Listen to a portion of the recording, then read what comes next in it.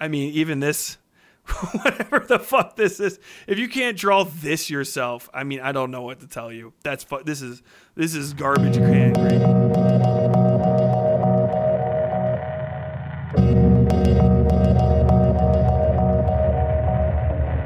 I, this is one thing I did want to talk about tonight because I had to answer a question from somebody in my my community for my podcast. Is it possible to cite the original material, or does it just pull from hundreds of different images? Is there a way to only access license-free or public domain content? Um, the easy, the two easy questions to answer in that are obviously the the second and the last one. Is it possible to cite the original material? or does it just pull from hundreds of different images? It pulls from thousands of different images, um, and and keeps some of them um, sort of toward the po- top of the pile. Um, it recreates other people's art and stuff. I mean, if you look at the old Stable Diffusion things, they would actually include people's uh, mutated signatures uh, on art, so you could tell it was stealing from real art because when it was putting the real art in there, it kept the the signatures on it. And so it was trying to recreate signatures. So it's literally forging signatures on the art.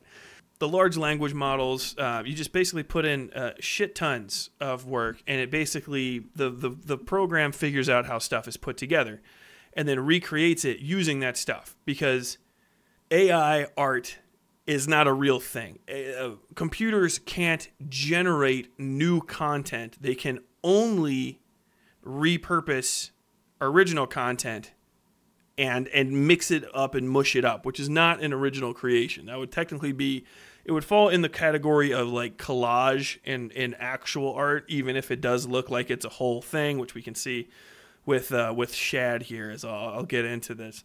Um, it's kind of a soulless way to make stuff. As you can see, AI art always has this vibe to it. Once it's been established and you've seen it, you can always get a vibe for it. And I think a lot of it is because the AI programs get lazier, uh, which is just a, a notable thing. They get lazier as they go on because the way that they're modeled is to always seek out doing things in the way that gets them the cookie, so to say. As in, the end user has said, Hey, I enjoy this product. So for the AIs, it's always going to be to use the smallest amount of possible things that people like. And as things are liked more or liked less, the AI will start being, it'll hit a creative cone and shrink into a point where it's only making the specific looking thing that, that you want. And it's fucking creepy and soulless because basically the AI has figured out that there's one female body type or selection of female body types. And if it finds 3D models, basically, which is what this kind of looks like, it can just always input a clothing skin over the top of what it understands as this 3D model of a woman of a woman in various poses and then it doesn't have to work as hard to create this which is going to make it considerably less and less and less dynamic because as it says okay it wants poses it wants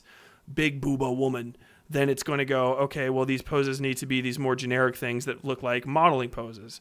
And so you kind of get these extremely simplistic arms out, legs together, sort of like very generic modelly type photos, right? If you were an actual comic book artist, you know, the, if we just look, I'll double check just in case, like uh, Supergirl covers in Supergirl issues, you know, this is what an actual series of covers in Supergirl, for better or for worse, looks like. So we have all of these different ones. I wish you didn't have the shopping one up there. So you can see how much more dynamic these poses are compared to um, Shad's ripoffs. And even some of these are based on models, but when these artists are trying to put these things together, they're articulating feel and vibe. And even if it's, you know, less good ones, I think like these I don't like as much. Um, because it just kind of reminds me of the 90s style, that super, super duper skinny Rob Liefeld thing. This one's kind of cool. She's got like an actual expressive face on there. But you know, you actually have a lot more humanity, humanity in these models. And so that's why AI art is, is, is fundamentally, it, it, by design, always going to be inferior because it can't make new stuff.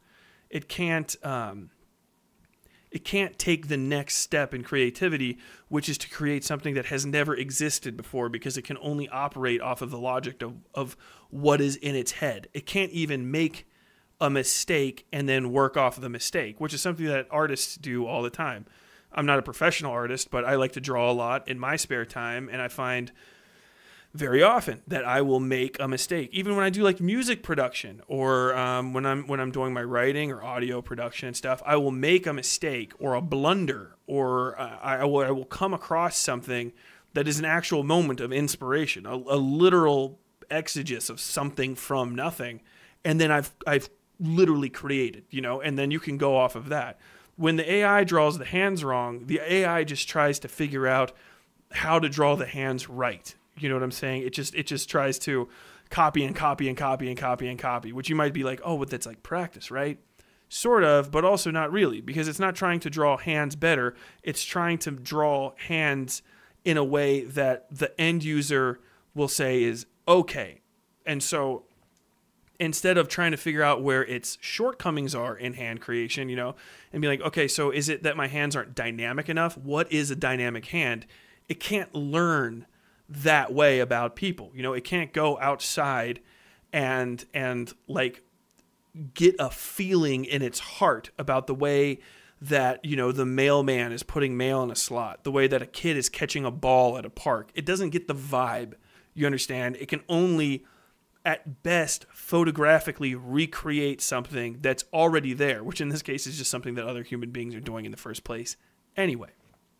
It's in the minds of people that don't know too much about this stuff, probably, and, and especially people like Shad, I guess, it probably seems uh, like a fine line, but it really, it, it's really as, as, as broad as it gets.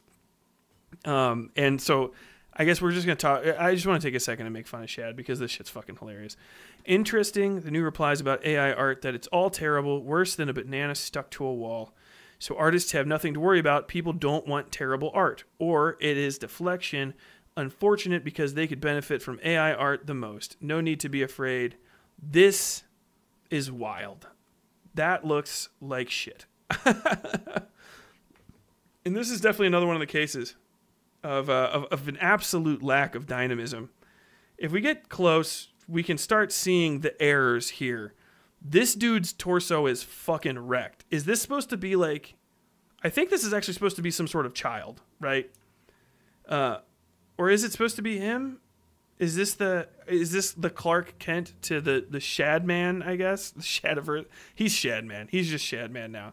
This is a child's torso with a with a very skinny man's neck. This is like unless he's got like padding or something, his shoulders are only this wide but his arms are like this long.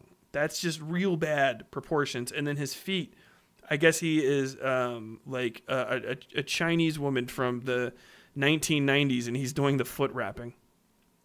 Shad's insistence on the validity of AI art and his disregard of the SAG-AFTRA strikes has been slowly alienating even his most nutty audience members.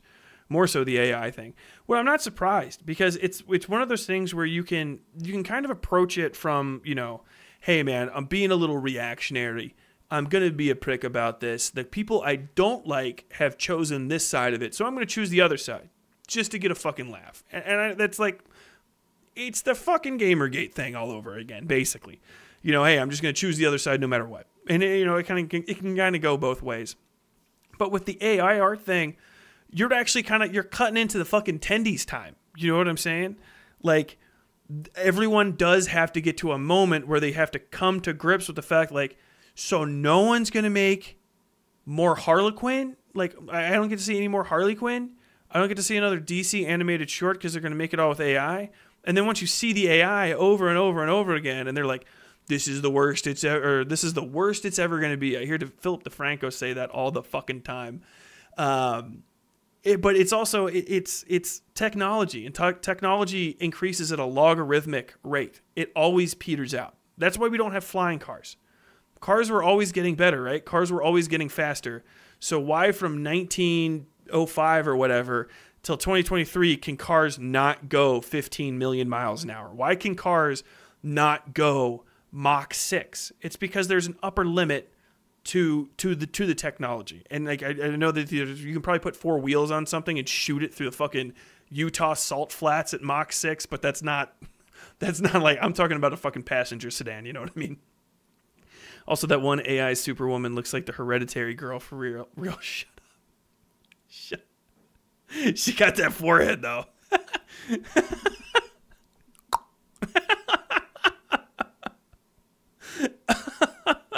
This is apparently. Uh, I, I, think I saw these the first time I ever talked about Shad, uh, or the second time, and uh, he. Oh, that one's. This is really bad, and he said, uh, "This is this is his wife's face, I guess." On this, and I, I think I said this the last time I saw these, but I really, really hope um, his wife is cool with doing this because if I started, I have a wife, I'm married. If I started fucking AI photoshopping my wife's face onto buxom AI generated super heroines, I would get in trouble. Uh, maybe not even like just trouble, trouble. It would be like, do you want to talk? That's that's really fucking weird behavior. Adult to adult. What the fuck are you doing? oh man, but these are just these are just ridiculous. Uh, or it's deflection. Unfortunate because they could benefit from AI art the most. I, I, don't think you can benefit from this kind of AI art. I can say that, and I, this goes into the next part of the conversation. There is value in machine learning model based technology in the creative field as an assistive tool the same way that like rulers and and and power saws and like drills and stuff have kind of like upped creativity. None of the way he's working does that. A thing I got to use recently, um, yeah, it's it's the content aware fill, which you shouldn't be using to like decrop photos and add new shit. But it's basically um, if you know what a bleed is on a on a photograph or something like that for printing basically the way that my original art piece was made, it has just blurs on the side of it, right? Like bokeh type blurs, if you know what bokeh is, like that burst out in the background of a photograph, inch like literally next to nothing, just so that when the cut comes out, it's just a little bit uh, a little bit extra. And that's like a fine use of that sort of tool, mainly because it's only using my original art. It's not drawing on anything else to make that that that's just fixing it a little bit. It's kind of like saying very similar to spell check. Spell check does not replace an editor, right? Spell check goes in, it double checks things against uh, a sprawling dictionary of words, and if it matches, it ignores that word. If it doesn't match, you get the red underline and it suggests replacements. If you're using the Google Docs one, sometimes it doesn't even do that particularly well. Same sort of thing. You know what I'm saying? I'm not there's definitely nobody's job that's going to get replaced by that. It's just saving me a little bit of time, kind of like getting a real ruler instead of trying to use the edge of a book. It's that sort of stuff. I think in cases like that, um, there's another one that is a machine learning tool that I like in uh, Krita, which and, and, it's still it's pretty flawed, and that is the um, I can't chromatic something or other. It's basically just an advanced version of a fill tool that detects the lines in your original line art. And once you've marked in all of the areas, the colors that you want, it sort of does the flats for you according to those boundaries. And it's still a flawed tool. You have to literally go in and kind of mush it. And I actually stopped using it anyway because it wasn't particularly great. But if that worked, that would be a thing that speeds up my workflow. Um, the uh, and one that I would prefer that I wouldn't mind actually just out in the world, and you still need people to come and double check it, would be captioning. Captioning tools, I think, are fine. Um, AI being used to help people that can't communicate. This is an example I usually bring up when I'm having this conversation, like at a bar if you have like those Grammarly things on your phone, I can't stand it. And I don't like I don't have respect for people that use Grammarly to like write books and shit and get suggestions to finish a book. That's that's corny, but you know, eh, it is what it is in, in general and I don't think that that's going to be a particularly big risk for my bottom line as a writer, but if you have somebody that say somebody has a broken jaw, right? Or they've had a stroke. Uh, stroke would be a very good one. You know, instead of writing on a fucking chalkboard like Legends of the Falls, if they can have something that sort of predicts the text and based on a large language model assists them in communication and like really speeds up response and uh, talk between them and like a doctor or something, that's a perfect use of AI technology. And that's where I want stuff like that to go to. And I think that's really what it's best suited for because I've seen books written by AI and they're dog shit. And I've seen pictures drawn by it and that's bad. But I have, you know, had little conversations phone to phone with people and sometimes like, it's like, hey, you know, speed up. Okay, hey, thanks for that, blah, blah, blah, blah, blah, blah, and just eliminate the small talk aspect of conversation. I saw a guy that used AI art to make uh, his background at a concert, right? Um, and it was like this skeleton, and it does just that fucking that wavery like uh. Is it a mandala? I'm trying not to say Mandela effect. A mandala, you know, like a tool cover. How tool covers look. Uh, if you knew anybody that smoked pot in the fucking 90s, uh, they would have a thing like this on their wall where if you looked at it for too long, you would get sucked into oblivion. Fucking eh, that kind of shit. It's like one of those, but it's active. In that case, maybe I don't quite 100% give a fuck. You know, let his fans meet it out. It doesn't really seem like it's one of those things where he's kind of cutting out people in the largesse. Like, um, I don't mind using all of the all of the AI art, all of the shit. If you want to make stuff that says like in house and inside of a circle, like shit posts, I think that's fine. If you want to use your AI art to make, you know, photos of uh, Hillary Clinton dunking on fucking Bernie Sanders or fucking Donald Trump getting arrested or, you know, the Dwayne the Rock Johnson's head is the fucking moon for a fucking for shits and giggles, I think that's fine because it's equivalent to graffiti. Like I like I would not try to fuck with graffiti, um, you know, as a as a as a matter of my my my my IP. If I found out that honestly, if I found out that somebody rewrote one of my entire stories on the inside of a porta shitter in magic marker, I would be more stunned by the effort that that took than I would be concerned. And it's also transformative inherently anyway. But yeah, I think that answers pretty much all of my uh, my things about AI. In general, it's it's it's not it's not a moral thing to do. Uh, if you're bad at art and you're making art in AI, you're stealing because if you couldn't draw it yourself, uh, I mean, even this, whatever the fuck this is, if you can't draw this yourself, I mean, I don't know what to tell you. That's fu- this is this is garbage can grade shit over what looks like a picture of uh, 1940s uh, post fall of Berlin. Berlin. This looks like they just knocked it. This looks like the fucking Reichstag is, is on fire, which I wouldn't be surprised that Shad has that picture on there. But I think, uh, yeah, I'll, I'll, wrap up this segment. Like and like subscribe. And like, like, like. Like, like, and subscribe.